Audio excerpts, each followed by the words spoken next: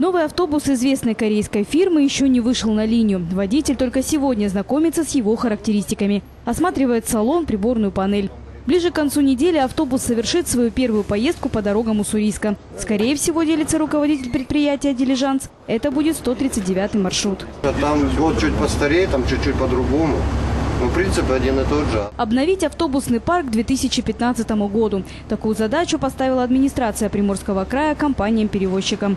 На дорогах не должна быть техника старше 7 лет. Это делается для безопасности пассажиров и экологической ситуации в крупных городах Приморья, таких как Владивосток, Находка, Артем и Уссурийск. Без роста цен на пассажирские перевозки не обойтись. Поднятие цен согласовано с департаментом а, по тарифам Приморского края и с администрацией Приморского края, так как согласно федеральным законам а, предельный, это предельный уровень цен. Это не тариф, а предельный уровень цен, который может позволить себе перевозчик. 15 рублей сейчас платят пассажиры Уссурийска. По-прежнему льготный проезд доступен пенсионерам. В тариф также заложили рост цен на топливо, горюче-смазочные материалы, запасные части. К примеру, резина, резина полгода назад стоила 6 тысяч рублей. Мы возмущались, говорили, как дорого. Сейчас 12 и покупаем. Пассажиропоток не уменьшился. Люди как пользовались городским транспортом, так и продолжают ездить на нем. Другое дело, считает руководитель транспортных компаний, поднятие цен ударило все же по кошелькам горожан. Можно было э, ввести беспошлинный э, ввоз автобусов для тех, кто занимается именно пассажирскими перевозками, не тех, кто